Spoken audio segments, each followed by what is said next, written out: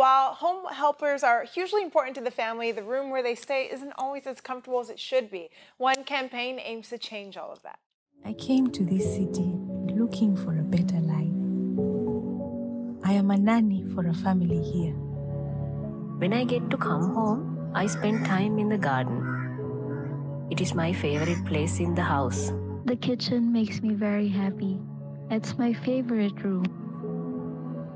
UAE leading retailer Homebox asked domestic helpers about their favorite place in the homes they work in.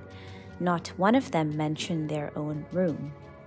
Research released today shows that when it comes to home helpers' rooms, 68% of people would be likely to hide their bedroom from others because many do not think it's visually appealing. One in five say they are embarrassed by their home help's room. To do something about this, Homebox has delivered makeovers to transform domestic helpers' rooms into something they're proud of. This is part of the launch of a new collection aiming to help domestic workers feel more at home. The aim is that no room should be hidden.